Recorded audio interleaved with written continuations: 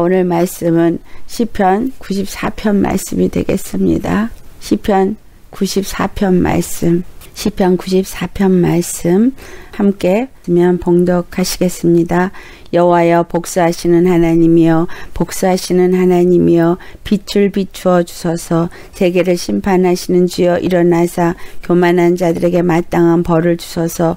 여호와여 악인이 언제까지 악인이 언제까지 개가를 부르리까? 그들이 마구 짓거리며 오만하게 떠들며 죄악을 행하는 자들이 다 자만하나이다. 여호와여 그들이 주의 백성을 짓밟으며 주의 소유를 곤고하게 하며 과부와 나그네를 죽이며 고아들을 살해하며 말하기를 여호와가 보지 못하며 야곱의 하나님이 알아차리지 못하리라 하나이다.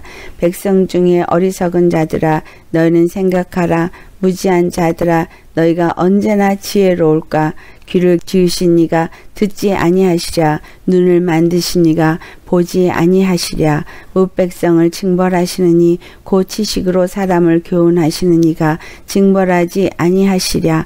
여호와께서는 사람의 생각이 허무함을 아시느니라. 여호와여 주로부터 징벌을 받으며 주의 법으로 교훈하심을 받는 자가 복이 있나니 이런 사람에게는 환란의 날을 피하게 하사 악인을 위하여 구덩이를 팔 때까지 평안을 주시리이다. 여호와께서는 자기 백성을 버리지 아니하시며 자기의 소유를 외면하지 아니하시리로다. 심판이 의로 돌아가리니 마음이 정직한 자가 다 따르리로다. 누가 나를 위하여 일어나서 행악자들을 치며 누가 나를 위하여 일어나서 악행하는 자들을 칠까 여호와께서 내게 도움이 되지 아니하셨다면 내 영혼이 벌써 침묵 속에 잠겼으리로다 여호와여 나의 발이 미끄러진다고 말할 때에 주인 자심이 나를 붙드셨사오며 내 속에 근심이 많을 때에 주의 위안이 내 영혼을 즐겁게 하시나이다. 윤례를 빙자하고 재난을 꾸미는 악한 재판장이 어찌 주와 어울리리까? 그들이 모여 의인의 영혼을 치려하며 무죄한 자를 정죄하여 피를 흘리라 하나? 여호와는 나의 요새이시요 나의 하나님은 내가 피할 반석이시라. 그들의 죄악을 그들에게로 되돌리시며 그들의 악으로 말미암아 그들을 끊으시리니 여호와 우리 하나님이 그들을 끊으시리로다. 아멘. 오늘 시편 94편의 말씀 1절과 마지막 절만 가지고도 우리가 큰 은혜를 받을 수 있 습니다. 여호와여 복수하시는 하나님이여 복수하시는 하나님이여 주여 주는 복수하시는 하나님이십니다. 두 번이나 주는 복수하시는 하나님이십니다. 이 말이에요. 그러면서 마지막 절에 그들의 죄악을 그들에게로 되돌리시고 그들의 악으로 말미암아 그들을 끊으시리니 주 우리 하나님이 그들을 끊으시리로다. 참으로 이 말씀이 우리가 이 땅 가운데 살면서 어떤 어려운 가운데 놓일지라도 내가 믿는 나의 하나님, 나의 주가 어떤 분이신가를 우리에게 말해주고 있습니다. 시편 94편의 말씀은 누가 썼는지 각각의 말들이 있습니다. 다윗이 암몬 자손과의 싸움이 있을 때 이것을 쓴 것이다. 또는 예루살렘이 함락되어졌을 때 애통하는 자들이 쓴 것이다. 또는 아스루 왕이 히스기야 왕 때 아스루 왕 사네립이 예루살렘을 공격할 때에 이것이 써진 것이다. 이것이 어떤 때에 써졌든 간에 이 시편 94편의 말씀은 하나님은 하나님의 원수를 완전히 대적하신다. 라는 것을 우리에게 말해주고 있습니다. 그렇다면 이 말씀이 우리에게 주는 의미는 하나님은 원수를 대적하시는데 반드시 대적하신다는 거예요. 우리 잘 아시는 말씀 마태복음 16장 27절 말씀 인자가 아버지의 영광으로 그 천사들과 함께 오실 때에 그때 각 사람의 행한 대로 갚아 주리라 말씀하시잖아요. 그러니까 주님은 반드시 이 땅 가운데서 우리가 어떻게 행한 대로 그것을 갚아 주신다는 거예요. 우리가 하나님과 친밀한 교제 관계가 있었느냐 아니면 하나님과 원수의 관계가 되어져 있느냐 이 땅 가운데 내가 어떻게 살아 살았느냐에 따라서 반드시 선악간에 주께서 갚아 주신다는 것을 또 이 시편 기자가 말하고 있습니다. 자, 예수님이 이 땅에 빛으로 오셨을 때에 이 모든 일이 주께서 이루신 일이시죠. 구약의 어떤 사건 속에서 있었던 그 사건 속에서 그들이 하나님을 바로 믿었을 때에 하나님께 자기의 문제를 내어놓았을 때에 하나님이 그들을 건져 내셨던 것과 그들이 하나님에게 불순종하고 하나님 온전히 섬기지 못하였을 때 그들에게 하나님의 진노가 임하였던 것을 구약에서 우리는 발견할 수 있습니다. 그와 같이 이 모든 것들은 예수 그리스도로 말미암아 구원을 얻고 우리의 참 주가 되시는을 나타내기 위하여서 우리에게 교훈으로 준 모든 사건입니다. 예수님이 이 땅에 오셨을 때 행하신 일은 마귀를 진멸하시고 그 마귀의 일을 멸하셨다는 거예요. 그 마귀의 일을 멸하시고 우리로 하여금 죄에서 건져 주시고 마귀에서부터 속량하여 주시고 예수 그리스도 안에서 하나님의 아들이 되게 한 것. 하나님의 아들이 되어진 건 마귀의 일을 멸하기 위해서 오셨다라고 하는 이 말씀에 우리의 생각에 초점이 맞춰져야 할 것입니다. 오늘 본문 2절 말씀을 보면 세계를 심판하시는 주여 일어나사 교만한 자들에게 마땅한 벌을 주소서라고 말하죠. 예수님이 이 땅에 오셨을 때 인자로 오셨기 때문에 요한복음 5장 27절 말씀 인자됨으로 말미암아서 심판하는 권한을 주셨느니라. 인자됨으로 인해서 심판할 권한을 주께서 받으셨어요. 그리고 그 심판을 요한복음 5장 22절에서부터 23절의 말씀을 보면은 하나님이 아무도 심판하지 않으셨다라는 말이 있어요. 하나님이 아무도 심판하지 아니하시고 로마서 5장 8절에 보면 그 하나님의 사랑을 십자가에서 확증하셨다고 말하거든요. 그 사랑으로 우리를 무조건 다 구원하시고 다 예수님의 품 안에 이르게 하셨는데 이 모든 것들이 그저 하나님이 주신 은혜예요. 그 은혜의 선물인데 은혜의 선물이 예수 그리스도를 통해서 주셨다는 거예요. 우리에게는 한없는 은혜를 주셨어요. 그리고 하나님의 사랑을 보여주셨어요. 하지만 그 십자가는 믿는 우리에게는 은혜요. 사랑의 확증이지만 믿지 아니하는 자들에게는 심판이라. 그 믿지 아니하는 자들 또 마귀에게 속한 자들은 다 심판을 받으나 주를 믿는 자, 주님을 의지하는 자에게는 은혜요 사랑이다라는 거죠. 그래서 그 어, 아들에게 그 모든 심판할 권세를 주신 것이 또한 우리에게 주신 은혜이기도 합니다. 내가 예수님 안에서 진노를 받고 그 심판이 이룰 수 있어요. 하지만 예수님을 믿으면 예수님 안에서 그분을 의지하고 예수님과 함께 그 십자가 안에 거하는 믿음을 갖는다면 그 십자가의 심판은 우리에게는 은혜다라는 거예요. 왜? 나에게 대적하고 나를 괴롭힌 모든 자들에 대해서 하나님이 보응하시는, 심판하시는 것이기 때문이에요. 우리에게는 이 모든 것이 은혜입니다. 이것을 내가 안다면 요한복음 5장 23절에 있는 말씀처럼 아버지를 공경하는 자가 되어지고 아들을 공경하는 자가 될 것입니다. 아버지를 공경하던 자들이 아들도 공경해요. 하나님을 공경하였던 유대인들은 예수 그리스도를 공경하지 않았거든요. 왜냐하면 예수 그리스도를 알아보지 못했기 때문에. 그러나 예수님이 누구신지를 우리가 아는 자라면 하나님을 공경한 같이 예수 그리스도도 공경한다는 거예요. 아들인 예수님도 공경하는 거예요. 그리고 아들을 공경하는 자는 아들이 사랑하는 자를 공경하게 되어져 있다. 우리 예수님 믿으면서 나 하나님 사랑해요. 나 예수님 사랑해요.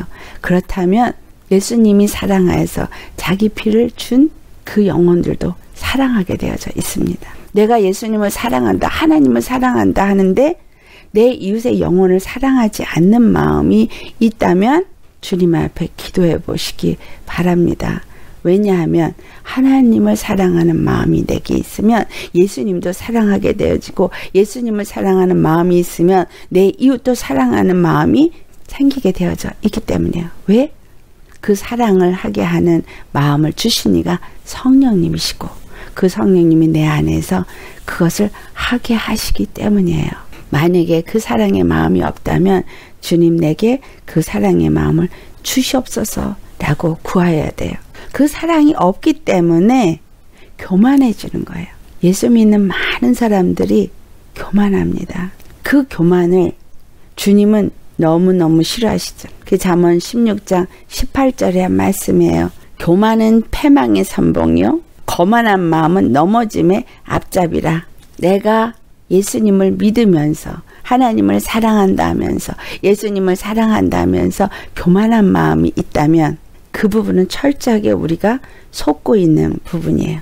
내 의가 여전히 살아있다면 그거는 철저하게 속고 있는 부분이에요. 이건 반드시 내쳐야 돼요. 내쫓아야 돼요. 주일 설교 때 그런 말씀을 했어요. 하나님이 내게 준 그 심판의 권세가 무엇인지 그것을 사용해야 한다는 근데 그것을 주신 이유는 내 안에 하나님의 나라가 하나님의 성전이 온전히 세워지게 하기 위해서 내 안에 역사하고 있는 모든 악한 것들을 완전히 다 내어 쫓고 진멸하고 그리고 어, 파, 파, 파쇄하고 주 안에서 정말 거룩한 하나님의 성전, 거룩한 하나님의 나라가 되게 하기 위해서 주신 것이라는 거예요. 그래서 내 안에 어떤 부분은 있는데 어떤 부분은 없다. 그러면 그 부분을 할 수 없게 만드는 속이는 영이 역사하고 있다라는 거예요. 하나님은 사랑을 하는데 이웃은 사랑할 수 없게 하면 이웃을 사랑할 수 없는 사랑을 가질 수 없게 하는 그러니까 사랑은 할 때 온전한 사랑을 하지 못하게 하는 속임수가 내 안에 있다는 거예요. 그래서 그 모든 것을 다 죽게 묻고 회파하고 결박하여 내쳐야 하는 것이죠. 이런 것들이 어디서 말미암기 때문이냐? 교만에서 말미암았기 때문입니다. 자기 의에서 말미암았기 때문에요. 내 의가 판단하고 내 의가 그것을 정죄하고 하는 그 교만 때문에 판단하고 정죄하고 사랑하지 못하게 하는 거예요. 그 교만이 하나님 앞에 멸망에 처하게 되고 그 교만이 우리로 하여금 넘어지게 하는 모든 것이 되어지기 때문에 내 의를 내려놓고 주님 앞에 겸손한 자가 되어지셔야 합니다. 우리가 다 예수님 앞에 고린도서 5장 10절에 보면 선악간에 다 드러난다 그랬거든요. 마음으로 품은 것이든 내가 입으로 말한 것이든 내 심령 속에 간직하고 있었던 것이든 이 모든 것이 선악간에 하나님 앞에 다 드러나게 되어져 있습니다. 그래서 주님 앞에 가는 그날까지 예수님 만나는 그날까지 우리는 내 마음을 정결하게 씻어야 돼요. 열심히 약한 것들을 내쳐고 주님 안에서 온전히 서야만 됩니다. 그래서 오늘 본문 말씀에 주여 악인이 언제까지 악인이 언제까지 개가를 부르리까 내 안에서 여기서 지금 말한 건 어떤 이웃의 어, 원수들이 이스라엘을 공격한 것, 그들이 하나님을 대적하는 말을 하는 것, 이걸 도대체 언제까지 주께서 그렇게 용납하시겠나이까? 라는 말이지만 실질적으로는 내 안에 있는 악한 것들이 얼마까지 나를 이기고 나를 이겨서 개가를 부르게 하시겠습니까? 라는 말이에요. 우리 안에 이와 같은 악한 원수들이 있습니다. 그것들이 내 안에서 나를 속이고 그 속임수에 넘어가면 개가를 부르는 거예요. 그 히스기야를 찾아와서 편지를 보낸 사내립. 그 사내립이 한 말은 뭐예요? 내가 믿는 하나님이 예루살렘을 이 아수르 왕의 손에서부터 어, 넘기지 아니하겠다 하는 왕의 말에 속지 말라라고 외치는 말이었어요. 열왕기 하 19장 10절에서부터 나오는 말씀이에요. 히스기야가 하나님께서 말하게 하실까지 잠잠하라. 이 말씀 우리의 삶에서요. 주님은 우리에게 잠잠히 주님께만 묻기를 원하시는 거예요. 어떠한 일이 일어나든 그냥 주님께 묻기만 하는 거. 그리고 기도하고 죽게 묻고 주님께서 말하실 때까지 기다려야 하는 거. 그게 우리가 해야 할 일이에요. 히스기야 왕도 백성들한테 너희는 잠잠하라. 그리고 그가 하나님을 그 전에 나아가서 그 말을 합니다. 그들이 이렇게 말합니다. 내가 믿는 내 하나님이 예루살렘을 아수르 왕의 손에 넘기지 아니하겠다는 말에 속지 말라고 말합니다.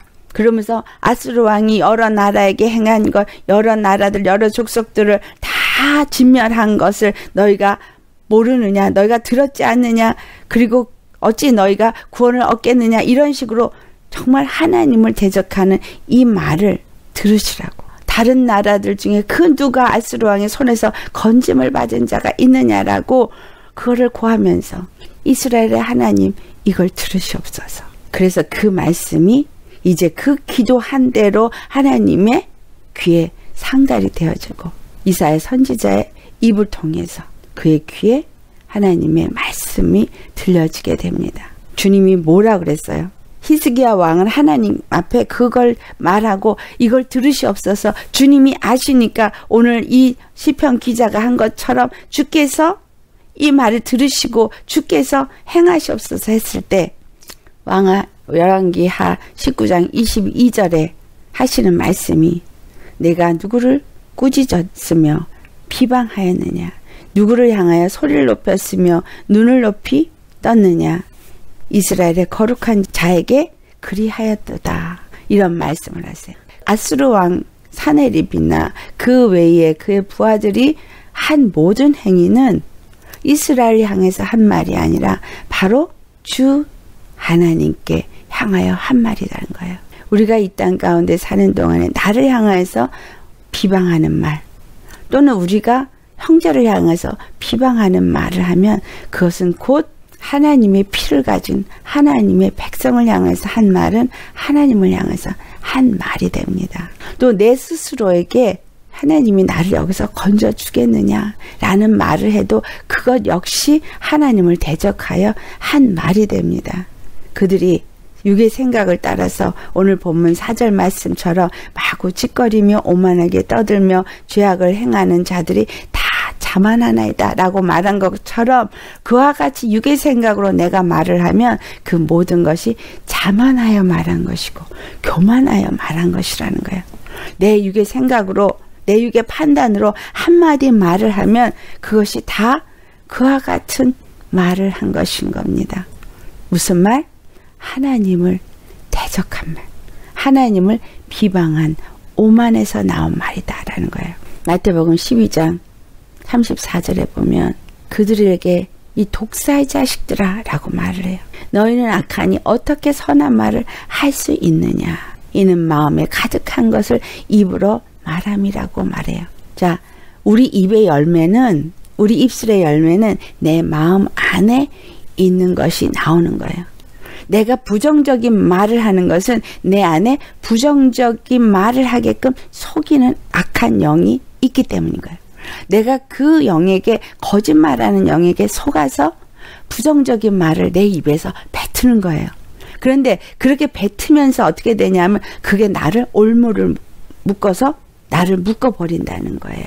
말에 권세가 있기 때문에. 그래서 내가 속에서 속아도 그거를 입으로 뱉으면 안 돼요. 저는 그래서 제 안에 저를 속이는 영이 저를 하여금 낙심하게도 하고 그걸로 인해서 좌절하게도 하고 그럴 때마다 그건 안 해요. 입으로 나는 이래 라는 말은 안 해요. 주님 앞에 그 대신에 어떻게 나아가냐 갔었냐 하면 예수님 나는 원래가 죄인입니다. 나는 원래가 부족해요. 그래서 나는 아무것도 할 수가 없어요. 하지만 능력 주시는 자 안에서 다 할 수 있사오니 주님 내게 능력 주시고 내가 그 일을 감당할 수 있게 하여 주시옵소서. 내 안에 자신이 없어서 나는 못해 라는 마음이 들수록 더 그렇게 기도해 왔어요. 그렇게 기도하면 주님이 하게 해 주시더라고요. 근데 이거를 마음 안에서 그런 마음이 올라올 때 입으로 말을 뱉어버려요. 그럼 어떻게 돼요? 나는 그렇게 매이는 거예요. 선포한 대로 되어지는 거거든요. 그러니까 그렇게 하면 안 돼요. 아셨죠? 내 안에 그렇게 자신감이 없게 하는 말이 올라오면 속이는 영이 지금 내게서부터 나를 속이는구나 라고 생각하시고 입으로 오히려 반대로 선포를 하세요. 선포되어지는 대로 됩니다. 나는 능력 주시는 자 안에서 다 할 수 있다. 거꾸로 선포를 하세요. 마귀야, 너는 내가 못한다고 나한테 속이고 있지. 근데 나는 예수님 안에서 능력 주신 자 안에서 다 할 수 있어. 라고 그렇게 선포를 하세요. 주님 안에서 나에게 속이고 나로 하고 움츠러들게 하고 또 나에게 어떤 잘못을 했을 때 너는 왜 이거밖에 안 되니? 라고 하면서 나를 좌절을 시키는 그런 죄의식으로 나를 끌어내려가도 똑같아요. 똑같은 방법으로 맞아 나는 죄인이야. 그래서 이렇게 할 수밖에 없어. 하지만 예수님은 날 사랑하시고 예수님은 이런 나를 죄 없다 하시기 위해서 십자가에 죽으셔서 그래서 나는 이제 예수님한테 회개하면 나는 이제 주님 안에서 이건 아무것도 아니야. 그리고 반대로 선포를 하시고 은혜 주신 예수님의 은혜를 내 입에 달아서 감사로 하나님 앞에 올려드리기를 축원합니다. 내가 입으로 그렇게 뱉는 거는 여기서 5절로부터 본문 7절까지 있는 말씀이나 똑같은 거예요. 주께서 그들이 주의 백성을 짓밟으며 주의 소유를 곤고하게 하며 과부와 나그네를 죽이며 고아들을 살해하며 말하기를 주가 보지 못하며 야곱의 하나님이 알아차리지 못하리라 하나이다. 이 말씀이 아수르나 아니면 다른 사람들이 그렇게 말했던 것만이 아니라 이 말씀이 오늘 내 안에서 마귀가 나로 하여금 나를 짓밟고 나로 하여금 공고하게 만드는 일을 그렇게 속여서 말한다는 거예요. 그리고 나로 하여금 마치 과부처럼 마치 나그네처럼 그래서 하나님과 관계가 없는 사람처럼 마치 고아처럼 그렇게 나를 죽이고 멸망시키려 한다라는 거예요. 여러분 절대로 나에게 낙담을 주고 나로 하여금 위축되게 하고 자신 없게 하는 이러한 생각이나 말이 생각 속에서 올라오거나 또는 다른 사람의 말에 의해서 그렇게 또 상처를 받는 일이 있다 할지라도 절대 좌절하시지 마세요. 이 모든 것은 속이는 마귀의 장난이에요. 예수님은 나를 새롭게 하셨습니다. 내가 아직 부족해서, 내가 아직 연약해서 부족한 부분이 많아요. 하지만 부족한 건 구하면 돼요. 구하라고 부족한 거 내버려 두신 거거든요. 한꺼번에 바꾸지 않으시거든요. 조금씩 조금씩 바꾸시거든요. 하나하나 바꾸셔요. 왜? 구하라고. 주님이 구하면 주신다는 것을 가르쳐 주고 그렇게 하면서 살아계신 하나님을 내가 더 믿는 믿음으로 자라나게 하도록 증거가 되어지도록 아무리 부족하고 아무리 작고 아무리 연약해도 좌절하지 마시고 그냥 구하세요. 열심히 구하세요. 방언하시는 분들은 열심히 방언하시고 방언이 안 되는 사람들은 또 방언도 할 수 있게 해달라고 구하시고 열심히 내가 필요하다고 생각되는 걸 구하세요. 구하면 주십니다. 구하면 주세요. 저는 구하면 준다는 거 알면서도 안 구하기도 했어요. 왜냐하면 그거 없어도 된다고 생각하는 마음이 있었기 때문에. 근데 시간이 지나고 보니까 필요한 거더라고요. 그래서 지금 구하고 있어요. 왜냐하면 이거 없으면 이것만 갖고 하지 그랬는데 그게 아니라 이것도 있고 이것도 있어야겠더라고요. 그래서 전에는 이거 없어도 돼 했는데 지금은 안 그래요. 말씀만 있으면 돼. 은사는 위험해. 이래서 나는 말씀만 구했어요. 은사 안 구했어요. 근데 주님이 저 안에 은사를 주신 게 있거든요. 근데 이거 개발 해야 되거든요. 써야 되거든요. 그래서 주님 앞에 주님 은사도 필요해요. 사역을 하면서 보니까 은사가 필요해요. 말씀이 가장 중요한 건 아는데 말씀 플러스 은사도 있어야겠어요. 그랬더니 주님이 은사는 이미 너한테 다 줬다 그러시는 거예요. 네, 준 거 알아요. 근데 나타나게 해주세요. 그랬더니 그러면 프랙티스를 해라 그러시더라고요. 그거를 프랙티스를 해야지 안에다 그렇게 담아두고만 있으면 안 된다는 거예요. 제가 이렇게 입딱 뻥하고 사용을 안 했거든요. 그러니까 사용을 하라는 거예요. 사용을 해야 기름 부음이 더 증가된다라고. 그래서 여러분 주님 안에서 무엇인가 여러분한테 주님이 주신 것 같은 게 느껴지면 계속 프랙티스를 하세요. 자꾸 자꾸 그걸 사용을 해야 은사가 아, 더 개발되어지고 또 주님 안에서 자꾸 자꾸 구해야 주님이 구하는 것을 더 주시는데 문제는 뭐냐? 욕심을 따라 구하지 말아야 되는 거예요. 욕심을 따라 구하면 그게 나를 망하게 해요. 그러니까 뭘 위해서 구해야 돼요? 하나님의 뜻이 내 안에서 이루어지고 하나님의 나라가 온전히 내 안에 이루어지고 또 나의 삶 가운데 예수님의 이름이 영광을 받기 위해서 필요한 건 주시라고 구하세요.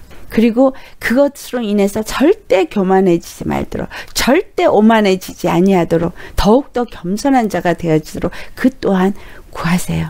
많은 것을 가졌다가 오히려 넘어지는 사람들이 많거든요. 제가 사실상 그 은사가 더 개발되는 거를 두려워하고 구하지 않았던 이유 중에 하나도 바로 그거예요. 내가 은사가 막 나타나서 뭔가 막 역사가 일어나면 혹여라도 내가 교만해질까봐. 원래가 속성이 교만했던 사람이니까 교만해지고 오만해지고 자만해질까봐. 그래서 주님이 하고 싶으시면 주님이 일하세요.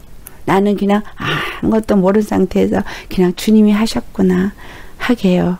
이렇게 했는데 주님의 일을 은사를 내가 구해야겠다고 생각한 게 뭐냐면 이 마지막 때가 가까울수록 그 은사 때문에 사람들이 거기에 속아 넘어가고 있는 걸 보았기 때문이에요. 예수 믿는 사람은 말씀이 있는 사람은 그들보다 더한 역사가 일어나야 되거든. 아니 잘못 가르치는 자들이 잘못된 자들이 은사를 나타내서 영혼들을 미혹하는데 바른 복음을 가진 자가 그 은사가 없어서 그들에게 빼앗긴다면 이건 말이 안 되는 거더라고요.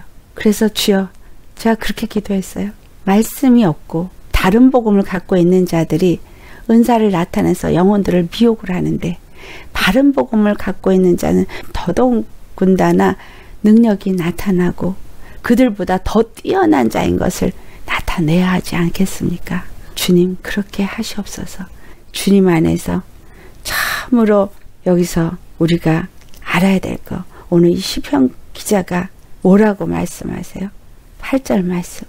백성 중에 어리석은 자들아 너희는 생각하라 무지한 자들아 너희가 언제나 지혜로울까 귀를 지으시니가 듣지 아니하시라 눈을 만드시니가 보지 아니하시라 그와 같이 하나님을 온전히 깨닫지 못하는 자가 어리석은 자요, 무지한 자라는 거예요. 그러니까 우리는 정말 예수님의 뜻을 알고 십자가의 은혜를 아는 자이니까 얼마나 복된 자냐 이거예요.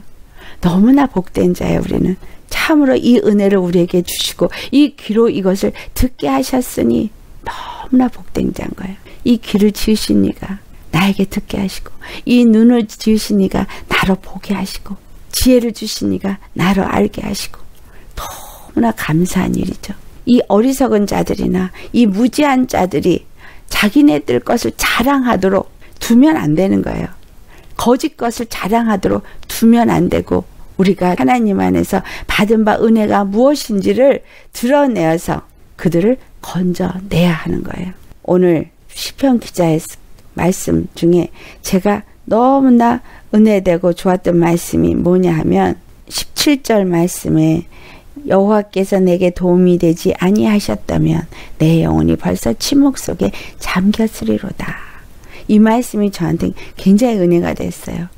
왜냐하면 주님이 이렇게 보이지 않아도 나타나서 뭐 역사를 안 한 것 같아도 나는 모르는 사이에 나의 도움이 되셨다는 거예요. 나를 이끄셨다는 거예요.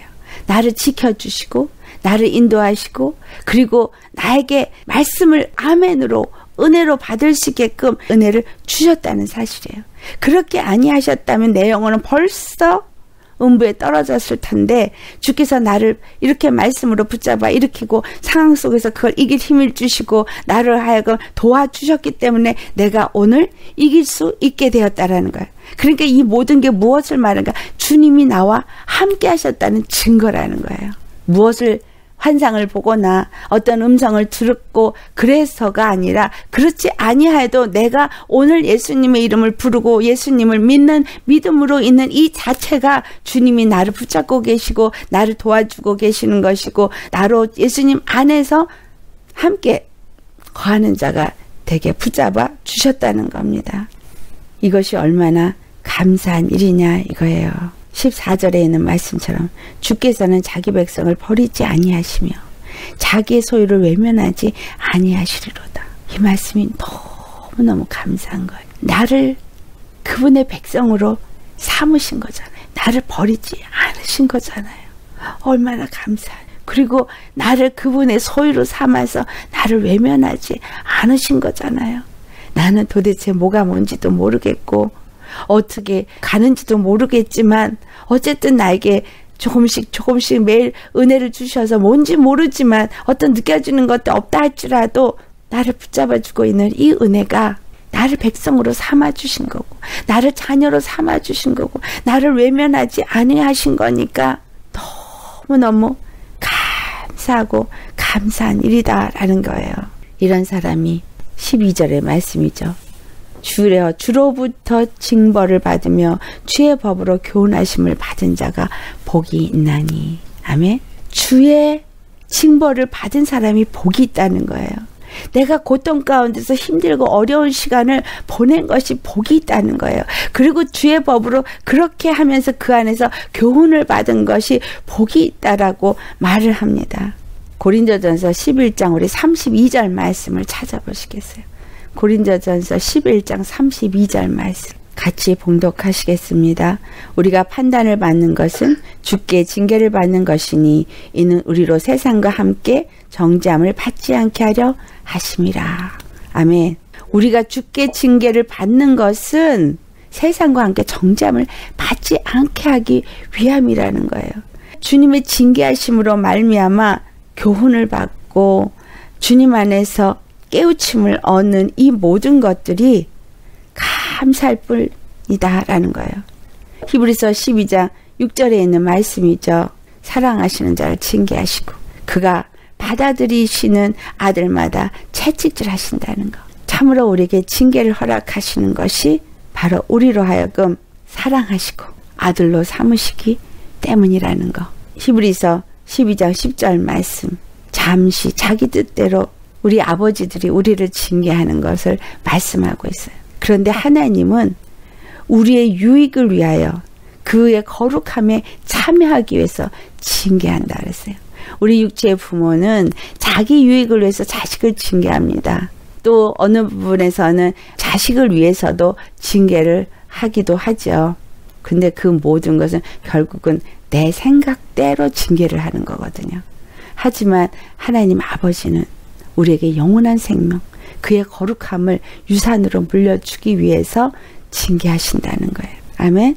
11절 말씀에 무릇 징계가 당시에는 즐거 보이지 아니하지만 그러나 이 모든 것이 슬퍼 보이지만 이 모든 것이 우리에게 유익이다라는 거예요. 여러분 참으로 고통이 유익입니다. 하나님이 징계하시는 그 징계가 유익입니다. 나로 그와 같은 모든 일을 하는 것은 환란 날을 피하게 하기 위해서라는 거예요.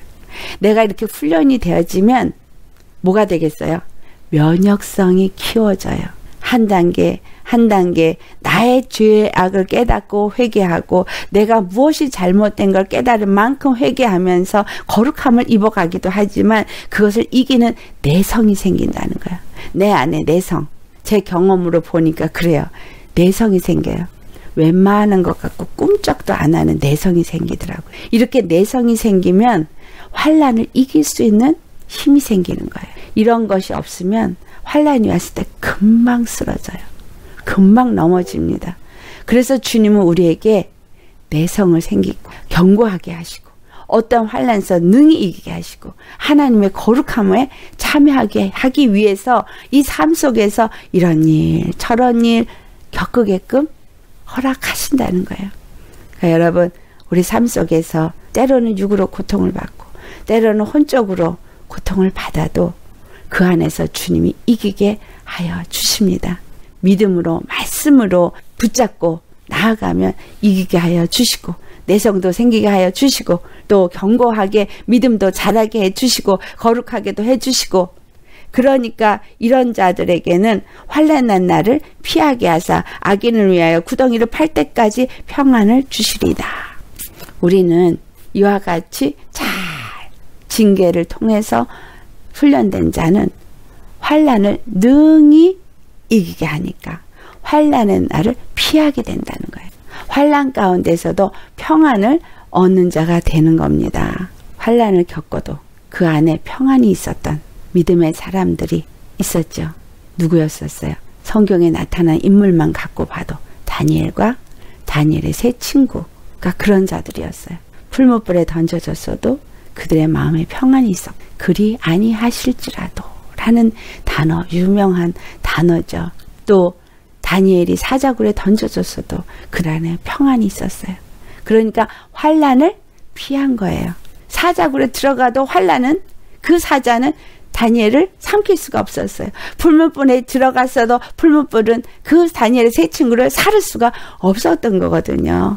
환란을 피하고 그 마음에 평강이 주어지면 온전한 믿음으로 주를 바라보았기 때문입니다.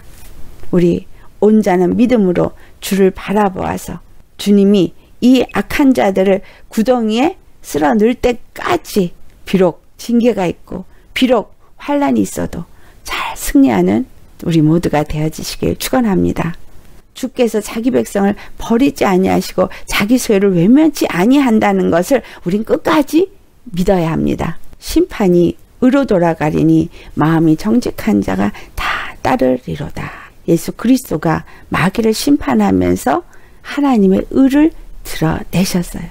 주께서 십자가 복음으로 우리에게 듣게 하고 우리 마음이 정직한 자들로서 주님을 따르게끔 나아간 거. 이 정직한 자는 두 마음을 갖지 않은 자를 의미해요.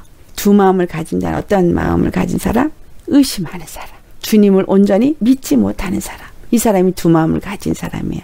정직한 사람은 마음이 청결한 자라고도 표현되어질 수 있는데 이런 사람은 두 마음을 안 갖고 오직 한 마음. 주님을 믿는 마음, 주님께서 반드시 구원하는 구원의 하나님이라는 걸 믿는 마음으로 징계를 받아도 어떤 상황 속에서도 주님을 믿고 의지하며 그의 이름을 부르고 기도하면서 끝까지 나아가는 자. 예수님이 요한복음 17장에 하시는 말씀. 나는 아버지께서 내게 주신 말씀을 그들에게 주었사오니 라고 말해요. 제자들이 그 말씀을 받았어요. 이스라엘에게 갔지만 유다 땅에 갔지만 모두가 받은 게 아니라는 거예요. 갈릴리 해변가에 있는 무식쟁이들이 받았어요. 고통 가운데 있었던 자들이 받았어요. 아버지께서 예수님께 주신 말씀을 그들에게 주셨다라고 말하고 있어요. 여러분 이 말씀 받으신 자입니까? 이 말씀을 받은 자들은 이것을 받았기 때문에 아버지로부터 온 주를 예수 그리스도를 믿는 자가 된 거예요. 아버지께로서부터 온 주를 믿었기 때문에 예수님을 믿었기 때문에 예수님이 미움을 받는 것처럼 그들도 똑같이 미움을 받았다는 거예요. 예수님이 비난을 받고 배척을 당한 것처럼 이 제자들이 그 예수님이 바로 그 약속하신 메시아인 걸 알았기 때문에 하늘로부터 오신 분인 그 아들인 것을 알았기 때문에 핍박을 받아도 쇠사슬에 묶여도 죽음 앞에 나아가도 부인하지 않냐고 끝까지 그 길을 갔거든요. 말씀을 우리가 받아야 되는 이유예요. 말씀을 받지 않으면 주님을 알지 못하니까 주님을 모르면 끝까지 이 의의 길을 가지 못하니까 그래서 오늘 한 말씀이 심판이 의로 돌아가리니라는 말이 바로 그 말이에요. 예수님이 십자가에 죽은 것 같으지만 바로 마귀를 심판했고 그로 인해서 하나님이 의가 되심을 드러냈거든요.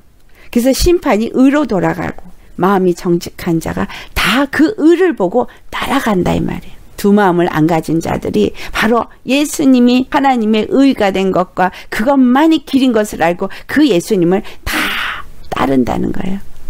우리는 어떤 자입니까? 내게서 심판이 지나가서 내가 의를 돌리는 자가 되어 주셨습니까? 내가 정직한 마음을 가지고 두 마음을 갖지 아니하고 주님을 따르는 자가 되셨습니까? 나의 삶 속에 나는 어떤 사람이 되었느냐라는 거예요. 그래서 16절 누가 나를 위하여 일어나서 행악자들을 치며 누가 나를 위하여 일어나서 악행하는 자들을 칠까? 이 말씀 참으로 고통 가운데 있는 자들에게 예수님이 일어나셔서 그들을 치셨고 그들에게 심판을 가셨어요. 내가 정말 이와 같은 것을 경험했다면 이 목소리가 또한 주님의 목소리로 우리에게 들릴 겁니다. 누가 나를 위하여 일어나서 저 행악자들을 치고 누가 나를 위하여 일어나서 저 악행하는 자들을 칠까? 이 말은 물론 이 고통 가운데 있는 이스라엘에 있는 사람들을 고통 주고 있는 이 악행자들을 누가 치고 나를 건져줄까 한 말이에요. 근데 이 말씀은 두 가지로 우리가 들을 수 있다라는 거예요. 나의 고통 가운데 나에게 악행을 행하는 자들을 예수님이 다 진멸했기 때문에 우리는 이제 그것을 알고 거기서 이긴 자요. 거기서 자유한 자가 되어질 수 있잖아요. 그런 자들은 이와 같이 행하는 자들에게 주님이 나에게 이 목소리를 들리게 하는 거예요. 이사야서 6장 8절의 말씀 누가 나를 위하여 갈까? 내가 누구를 보낼까? 하는 말씀과 같은 목소리를 이게 들릴 수 있습니다. 그러면 바로 이 고통하는 자들에게 내가 가서 그 행악자들로부터 고통하는 그들을 건져낼 수 있는 예수님의 동역자가 되는 거예요. 주님의 보냄을 받은 자가 될 수 있는 겁니다. 진실로 내가 말씀을 받고 진실로 주님 안에서 그 예수 그리스도가 바로 구원의 길이라는 것을 알고 맛본 사람만이 그 길을 갈 수 있거든요. 세상에서 핍박을 받아도 그것이 아무리 험난한 길일지라도 그것이 다른 사람들이 아무도 가기를 원하지 않은 길이라도 진실로 그 길을 가야 되는 길인 걸 알면 그 길을 갈 수 있다라는 거예요. 누가 가라고 해서가 아니라 내 안에서 하나님의 의가 나로 그렇게 하게 만드시기 때문에 그래서 진실로 내가 바로 하나님을 만난 자인가 아닌 자는 이러한 내 안에서 일어나고 있는 이 마음이 그것을 증거합니다. 주께서 내게 도움이 되지 아니하셨다면 우리는 벌써 어둠 속에 넘어질 수밖에 없는 자였다는 사실이에요. 주여 나의 발이 미끄러진다고 말할 때에 주의 인자심이 나를 붙으셨사오며 이렇게 과거형으로 말하는 거예요. 그걸 경험한 사람은 너는 그렇게 가다가 그렇게 끝날 거야 라고 말한 사람이 있어도 주님은 나를 붙들어 일으키신다는 거예요. 내 속에 근심이 많을 때에 주의 위안이 내 영혼을 즐겁게 했다라고 말합니다. 우리 안에 위축되게 하고 좌절하게 하고 뭔가가 이제는 내가 이렇게 미끄러질 것밖에 없는 건가? 나는 이렇게 끝나버리나? 나는 요거밖에 안 되나? 하는 이런 속임수가 내 안에 있을 때 주님이 나를 붙드시고 그 근심이 나를 누리려고 할 때 내 영혼을 다시 일으켜서 즐겁게 하여 주셨다라는 거죠. 제가 오늘 제 마음과 제 고통과 제 눈물과 제 아픔을 주님이 보고 계시고 주님이 알고 계시면서 다른 영혼의 입술을 통해서 그런 거를 말하게 하시는 걸 들으면서 주님 앞엔 감춰질 것이 하나도 없다는 거 플러스 주님이 다 아시니까 됐다. 주님만 아시면 된다가 제 믿음의 고백이었거든요. 제가 어떤 마음인지, 제가 어떤 마음으로 이 길을 가고 있는지 주님만 아신다면, 주님만 알아주신다면 나는 됐어요. 다른 사람이 몰라줘도 괜찮아요. 주님만 알아주신다면 나는 끝까지 가겠습니다. 그랬거든요. 근데 그 아신다는 걸 저한테 또 말씀하시면서 위로를 해 주시더라고요. 주님은 우리 마음의 애통과 눈물과 간절함 다 아세요. 다만 중요한 건 내가 심지 굳게 두 마음 안 품고 예수님만을 믿고 가느냐 안 가느냐 이게 중요한 거예요. 끝까지 의심 없이 가기만 한다면 주님은 반드시 나의 마음을 아시고 나로 하여금 그 일을 이루실 거라는 거예요. 이 세상에 이 악한 자들은 의인의 영혼을 치려고 하고 있고 무죄한 자를 정죄해서 피를 흘리려고 하고 있다고 말하고 있습니다. 오늘 본문도 그 말을 하고 있잖아요. 그렇지만 22절 주는 나의 요새시여 나의 하나님은 내가 피할 반석이시라. 그래서 23절에 그들의 죄악을 그들에게로 되돌리시며 그들의 악으로 말미암아 그들을 끊으시리니 주 우리 하나님이 그들을 끊으시리로다. 내가 원수 갚을 필요도 없고 내가 억울해 할 필요도 없고 가슴 아파할 필요도 없고 누가 무슨 말을 해도 주께서 다 그 모든 것을 갚아 주시리라. 나는 오직 한 마음 우리 주 예수님을 사랑하고 주님을 믿고 주님이 이끄시는 그대로 나아가면서 주님이 나를 사랑하시고 나에게 말씀하시고 내 이웃을 내 몸과 같이 사랑하라. 내게 화목하게 하는 직책을 주시고 너는 그 직책을 행하며 화목하는 말을 하는 자가 되라. 그냥 그 일을 하셨으니 주님 대신 주님이 시키신 일에 충성을 다하면서 믿음으로 끝까지 나아간다면 우리 영혼은 주 안에서 반드시 하나님의 영광을 보게 될 것입니다. 우리 주님은 우리를 너무너무 아시기 때문에 내 마음이 어떠한지 내가 고통 가운데서도 주님을 의지하는지 아니하는지 사람을 보지 아니하고 오직 예수님만을 바라보고 가는지 우리 심정을 아십니다. 우리의 고통도 아십니다. 우리 아픔도 아십니다. 그리고 반드시 갚아 주실 것입니다. 그래서 위로가 되는 거예요. 여러분 위로가 되십니까? 주님이 이렇게 알아주시기만 한다면 나는 괜찮아. 그리고 위로받으시기를 예수는 축원합니다.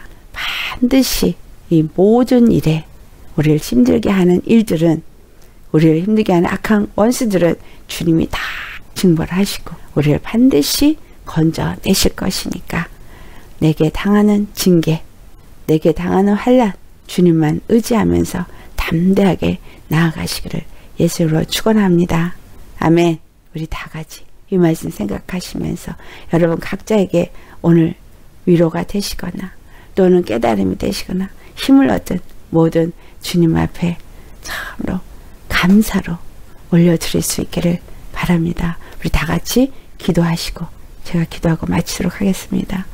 할렐루야 거룩하신 아버지 참 감사하고 참 감사 언제까지니까 참으로 힘들고 어려운 그 많은 터널들 지나고 또 지나고 또 지나 이제 됐나 하면 또 다른 터널이 기다리고 있는 그것은 바로 우리의 연약함 때문이옵니다. 참으로 나의 연약함이 나의 부족함이 또 주님 안에서 훈련되게 또 나의 부족함을 깨달아 주님 앞에 또 기도할 수밖에 없게 예수님이 아니고는 갈 수 없는 길임을 고백하지 않을 수가 없어. 우리의 가는 길에 참으로 작은 길에도 넘어지지 아니하고 어떠한 환란이라도 넉넉히 지나갈 수 있도록 예수님 우리에게 믿음을 주시옵소서. 흔들리지 아니하는 믿음을 주시옵시고 도마음을 품지 아니하는 정직한 영을 보내 주시옵시고 정결한 영으로서 주님만 의지하며 주의 이름을 부르며 나아갈 수 있게 하여 주시옵시고 주님께서 우리의 가는 모든 길 우리와 함께 하시고 우리를 버리지 아니하시고 우리를 외면치 아니하시고 우리를 붙들어 주시는 구원의 하나님인 것을 믿고 나아가게 하여 주시옵소서. 그리해서 그 모든 길에 이길 수 있는 힘을 얻게 하여 주시옵시고 예수님을 찬양하고 경배할 수 있는 자 되게 하여 주시옵소서. 거룩하신 아버지 주께서 이 모든 일을 이루시고 행하셔서 오직 아버지 안에서 나는 할 수 없으나 주께서 하실 수 있게 나는 할 수 없지만 주께서 반드시 나를 거룩하게 만드시기 위해서 나의 부족함과 나의 연약함을 보게 하시고 깨닫게 하시고 회개케 하시니 감사하고 감사할 뿐입니다. 더욱더 주 앞에 부족함을 발견케 하시고 회개케 하시고 그래서 주님 안에서 주님의 원하시는 그릇으로 빚어질 수 있도록 인도하여 주시옵소서. 우리 안에 있는 악하고 더러운 것들을 주님이 주신 권세 이름으로 대적하여서 내치고 파쇄하고 깨뜨리고 쫓아내고 오직 거룩한 주님의 성전이 되어지고 주님의 나라가 되어질 수 있도록 주님 세우게 하여 주옵소서. 예수님께서 성령으로 그 일을 할 수 있게 하시고 도와주셔서 주님이 그 모든 일을 하시고 내가 하려고 하지 말게 하시고 아직도 내 안에 있는 내 의 내 자 아직도 버리지 못한 그 자로 말미암아 생긴 교만 오만 자만들 완전히 주님 부숴 주시고 깨뜨려 주시고 파쇄하여 주시고 이 모든 악한 것들을 다 예수님의 이름으로 결박하여 주시고 예수님 오직 겸손하고 온유한 사랑의 마음을 가진 자로 삼아 주시옵소서. 내 의로 행하는 것이 아무것도 없이 이 모든 것들은 심판을 받고 예수님의 의만이 나타나게 하여 주옵시고 거룩한 주님 앞에 영광 돌리게 하여 주옵소서. 예수님 참 감사합니다. 아버지 참 감사합니다.